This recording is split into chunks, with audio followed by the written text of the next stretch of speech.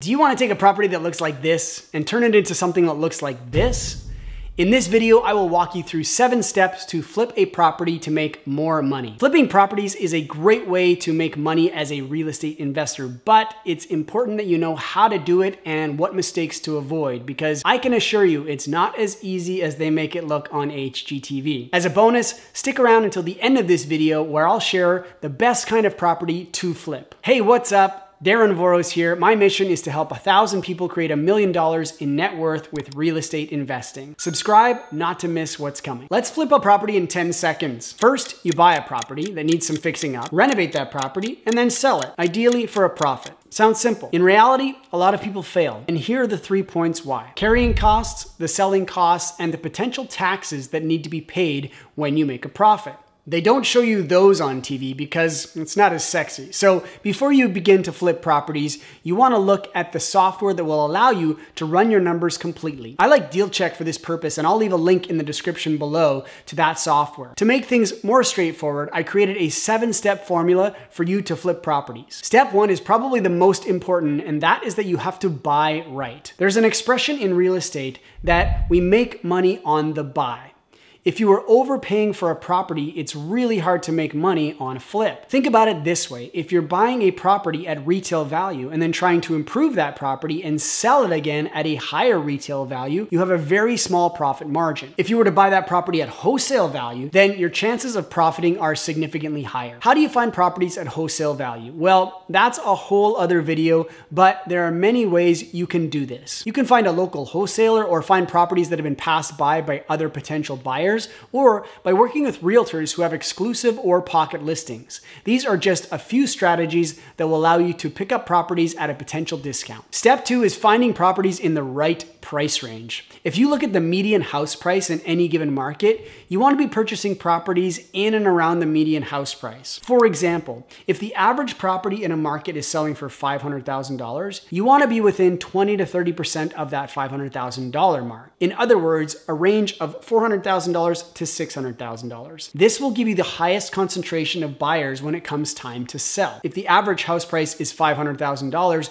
and you're buying properties for $2 million, you will have a much smaller pool of buyers. That doesn't mean that you can't buy luxury flips, but that is a niche market that you will definitely want to fully understand before getting into that kind of flip strategy. Step three is reverse engineering your numbers you should be calculating your after repair value and working backwards from there. You should also have a minimum amount of profit that you would like to make. Honestly, if it's less than 30,000, I don't think it's worth it. This also helps you know what your offer price should be. For instance, let's take that same $500,000 property. If that is your ARV, your after repair value, and you know you want to make $30,000 profit, you estimate your renovation is going to cost $100,000 and your carrying costs, taxes, and selling fees are going to be an additional $50,000, the most you can pay for that property is $320,000. If the property price pushes beyond $320,000, you know you have to walk away and keep looking for another property. I also want to caution you about overestimating your after repair value. If the most expensive property in the neighborhood you plan to flip a property in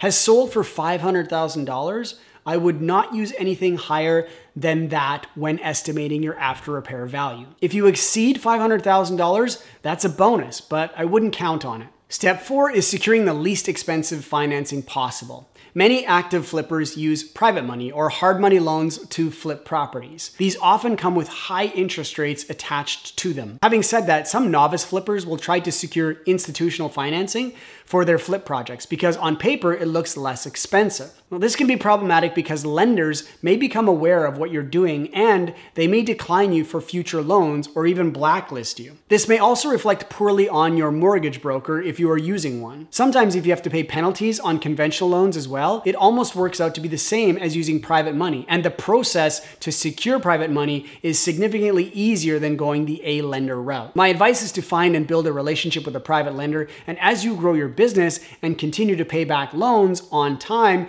you will be able to secure lower rates with less security. Step five is to pick the right finishes to suit your end buyer.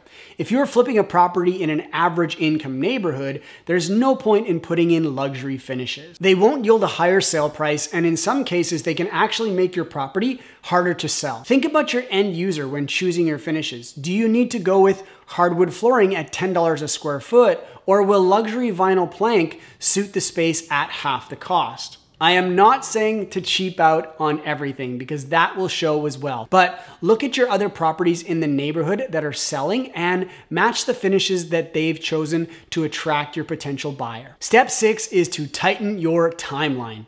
Flipping properties is all about timing, and so are relationships from what I've been told. But I digress.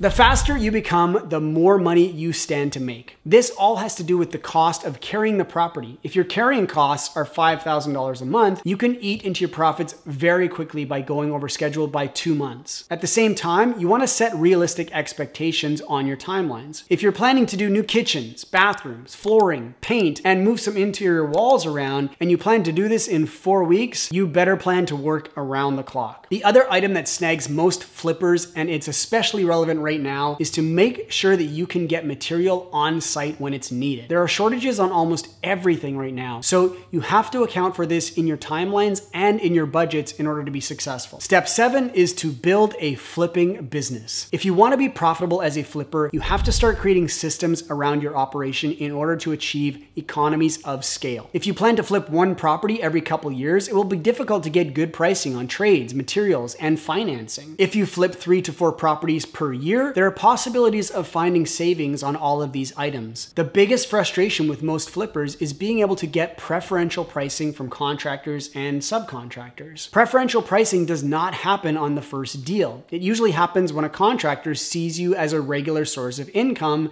and someone who is reliable and trustworthy. That's when you'll start seeing better pricing and quicker timelines. So if you plan to flip properties, start thinking about how you can build a business around this strategy. Now, the best kind of property to flip is a property that only needs cosmetic fixes. When you start getting into replacing all of the systems in the house, such as the plumbing, the electrical, and the HVAC, these systems all end up behind the walls, and most buyers do not appreciate the money you've spent to upgrade these items. If you can avoid properties that require replacement of these items, your chances of being successful on your flips is significantly higher. If you're interested in learning more about flipping properties, I'm running a series of courses and trainings starting in the fall of 2021, where we'll cover this topic and so much more. Check out my website for more information at darrenvoros.com. If you have questions about flipping properties or any other real estate investing questions, feel free to drop those in the chat section below. And make sure to check back here every week as I release a new video on Tuesdays. You can also follow me on Facebook and Instagram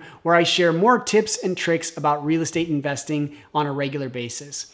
Thanks for watching and I'll see you soon.